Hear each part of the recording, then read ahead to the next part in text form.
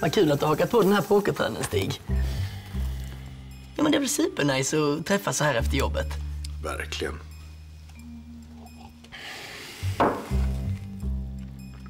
Ja, jag sätter väl min sista ost då. Jag synar med en potatisgratäng. Oj, får jag ta läs? Jag, jag kan förklara.